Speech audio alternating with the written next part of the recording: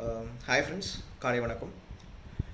TNPSC group one ஒரு group எக்ஸாமினேஷனில் எது பார்த்தீங்கனாலும் குரோனாலஜி uh, ஆர்டர்லேருந்து வந்து பார்க்கும்பொழுது கொஷின்ஸ் இருக்கும்.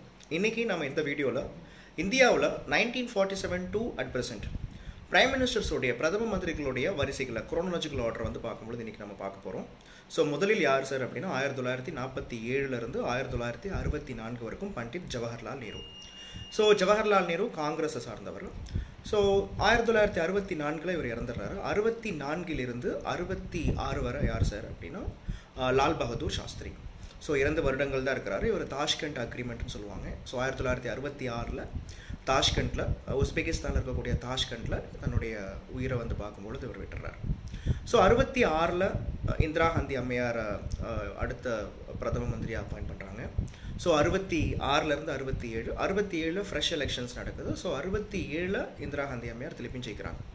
ஸோ அறுபத்தி ஏழில் ஜெயித்தாலுமே அடுத்த எலெக்ஷன் எழுபத்தி ரெண்டில் தான் நடக்கும் ஆனால் பட் இந்திரா காந்தி அம்மையாருக்கு அரசியலில் நிறைய எதிரிகள் குழப்பங்கள் இருந்ததால் ஆயிரத்தி தொள்ளாயிரத்தி எழுபது டிசம்பர் மாதத்துலேயே ஆட்சியை கலைக்கிறாங்க.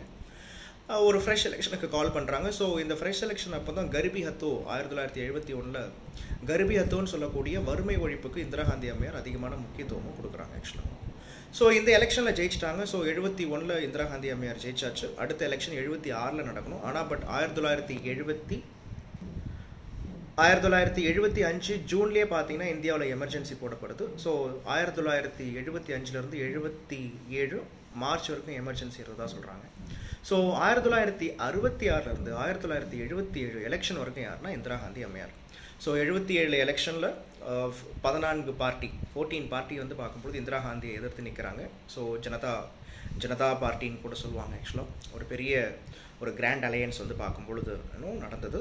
ஸோ மொராஜி தேசாய் இந்தியாவுடைய அடுத்த பிரதம மந்திரியாக வராரு. ஸோ எழுபத்தி ஏழுலேருந்து எழுபத்தொம்பது இருக்கும் மொராஜி தேசாய் எழுபத்தி ஒன்பதுலேருந்து எண்பது வரைக்கும் யார் சார்னா? சரண் சிங். இவருடைய இவருடைய பிறந்தநாள் தான் இந்தியாவுடைய விவசாயிகள் தினமும் நம்ம கொண்டாடுறோம்.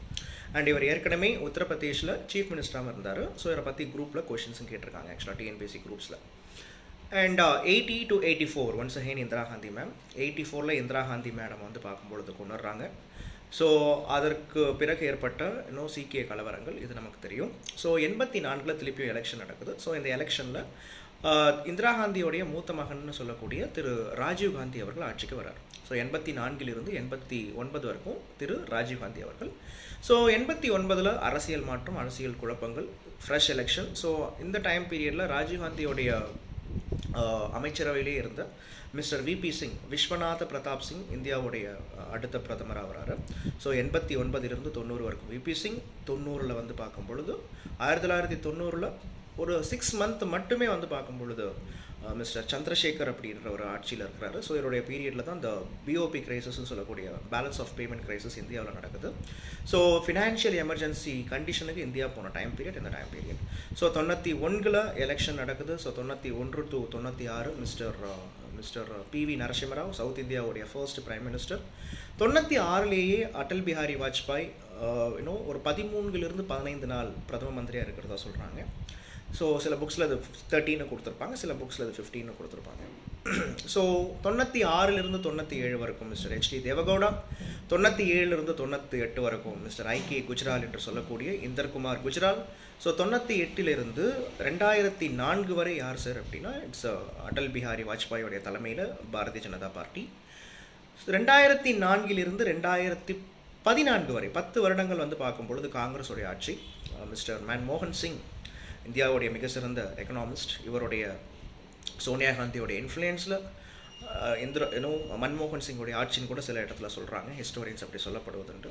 ஸோ ரெண்டாயிரத்தி பதினாலிலிருந்து பத்தொம்போது வரை இன்னும் பிஜேபியோடைய ஆட்சி நரேந்திர மோடிஜி அவர்களுடைய தலைமையில் அண்ட் ரெண்டாயிரத்தி பத்தொம்போதிலிருந்து ஆட்சி கண்டினியூ ஆகிட்டு நன்றி.